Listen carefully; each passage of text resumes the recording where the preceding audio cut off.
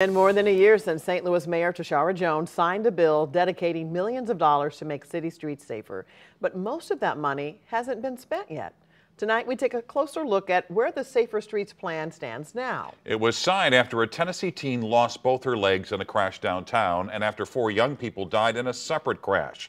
And there have been several other high profile crashes since then. Tonight, our political editor, Mark Maxwell, reports from City Hall. Mark. High profile crashes and deeply sourced data tell this troubling tale. Uh, Wallet Hub recently ranked best and worst cities to drive in America. In the safety column, St. Louis ranked last. But we see the urgency often when the flashing lights and sirens go speeding to the scene of a crash. We went to look and see if we could find evidence the city is treating this like an emergency now.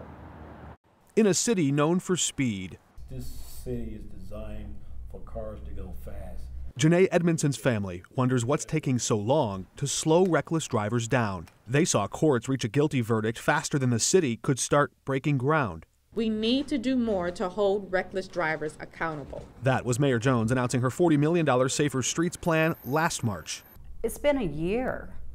So what are we doing? We've done nothing to stop someone else. The long term plan takes engineers and contractors and blueprints. We're doing everything we can um, to uh, implement traffic studies that have been sitting on shelves for years. But in the short term, what has the city done since then to check all the signage? The city did switch this yield sign to a stop sign at the scene of Janae's high profile crash. There are a lot of things they can do right now by narrowing the streets and so forth that they can do right now that haven't. Zoom out, and you find a city with lanes designed so dangerously they carry a grim nickname. It's called a suicide lane because you often end up head on with another vehicle. South City Alderman Shane Cohn pressed the city to install these concrete barriers after a high speed crash turned fatal. Streets like this, where there's literally not even a purpose for left hand turn, why have a left hand turn lane? It only allows for people to bypass other vehicles and speed.